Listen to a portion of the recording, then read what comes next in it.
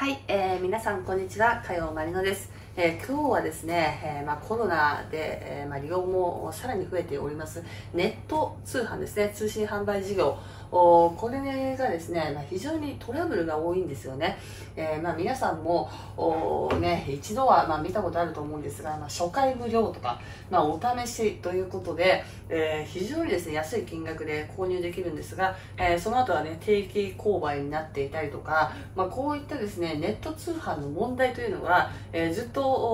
ね、えー、言われていました。で、えー、それを受けてですね、まあ、あ今回ですね、消費者庁がついに、えー、動き出しまして、えー、改正、法律をですね、改正して、えーまあ、厳罰化していくというような、まあ、見込みになったというふうに発表されております。で、えー、今ですね、えーまあ、非常にネットで買い物する人が増えてですね、えー、消費者庁へのですね、まあ、ちょっとそういったネット通販でのトラブル相談というのが、えー、かなりですね増加してきています。え特定商取引法というんですけれども、えこれをですねもう改正するまでね、え至ってしまっているということで、え2015年はですね、まあ、2015年もそれなりにネット通販っていうのは利用されていたと思うんですがこれのですねなんと14倍の相談に、え今年、え昨年か2020年はなっているそうなんですね、え相談件数はなんと5.6万件にもなっておりまして、えー、まあ、初回ね500円で購入できるのに、えー、2ヶ月目以降なんと1万円だったりとか、まあ、水のね販売とか、まあ、いろいろあるんですけれどもこういった販売方法に関しては、えー、消費者庁はねはっきりと詐欺的だというふうにね、えー、厳しい言葉で、えー、言っています。で、えー、まあね、ネット通販あのいろいろな購入ページ行ってみますと確かにね、え初回何百円とかね書いてあって、えその下に小さくですねもう見えない、えー、見ないであろうみたいなね、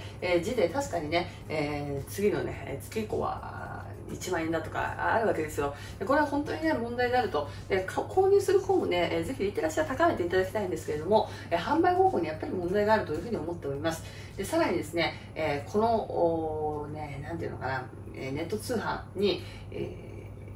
の広告塔とね広告塔にインフルエンサーがなってしまっているというのも問題で、え最近で言うとね、え YouTuber のテンチムさんが、えー、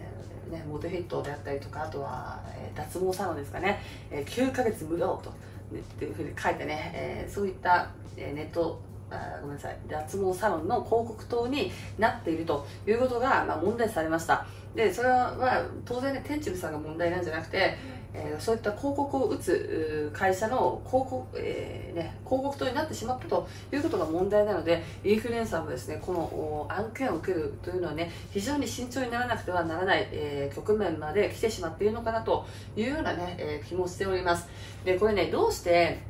まあ、ここまで、ね、なってしまうかというと、やっぱり消費者庁に相談件数がね、えー、一気に、えー、増えたというのは、やっぱり一つ、一番ね、問題なんだと思います。えー、当然ですね、初回無料で販売するっていうのは大手もね、やっている手法なんですよ。ただ、大手さんとかね、そういったちゃんとした会社っていうのは、あの、お客さんとでしっかりね、向き合って、えー、対応してるわけです。返金なら返金とかね、商品がね、返品するとか、まあ、こういったの書いてるのを知らなかったって言われたら、ちゃんと真摯に対応しているわけなんですけれども、えー、こういった、え最近ですね、やっぱりこう商品を販売してね、爆発的に売れてしまっているような、えベンチャー企業っていうのはそういった対応がおろそかになってしまって、え消費者庁の方にですね、苦情がどんどんいって、え消費者庁もこれは規制せざるを得ないというふうになってしまったから、まあ、こういったね、法律改正にまで至ってしまったのかなと思います。でただ、ネット通販でも、えしっかりとですね、え真面目にやっているところもたくさんあるわけですから、えこの改正というのは別にいいんじゃないのかなとも